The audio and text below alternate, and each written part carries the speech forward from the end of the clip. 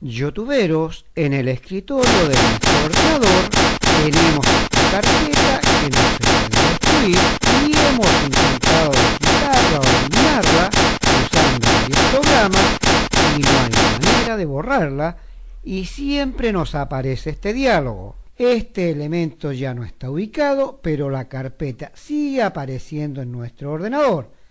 Para solucionar este problema, hemos encontrado un locker. Pulsamos sobre el instalador de un locker, presionamos en OK, pulsamos en siguiente, aceptamos el acuerdo de licencia, desmarcamos la pestaña que nos recomiendan, pulsamos en siguiente, estas pestañas las dejamos destacadas, damos un clic en instalar, siguiente y terminar.